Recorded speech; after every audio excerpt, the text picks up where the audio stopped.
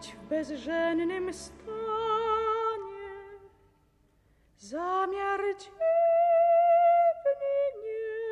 niesłychanie. Mówi pani Cześnikowa, że z nich każdy wolność chowa, aby nie ulegać łzom.